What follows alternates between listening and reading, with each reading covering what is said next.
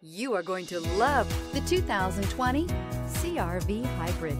This vehicle is powered by a all-wheel drive, four-cylinder, 2.0-liter engine and comes with a continuously variable transmission.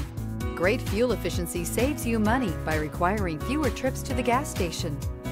This vehicle has less than 30,000 miles.